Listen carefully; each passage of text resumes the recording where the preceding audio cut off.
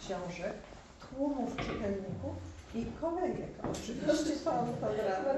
Dziękujemy bardzo i, no, i gratulujemy serdecznie rodzicom.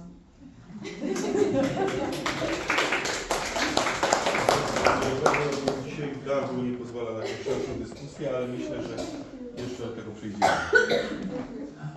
A ja Państwa zapraszam do książki i oczywiście Pani Emilia y, dla każdego zainteresowanego zdarzy bezcenny autograf. Myślę, że też z osobistą dedykacją. Także zachęcamy do ustawienia się w kolejkę. Drodzy Państwo, dziękujemy bardzo. Ci z Państwa, którzy, nie zakupią dzisiaj książki, a będą chcieli przeczytać, to zachęcamy, aby przyszli do naszej biblioteki i wypożyczyli ją oczywiście.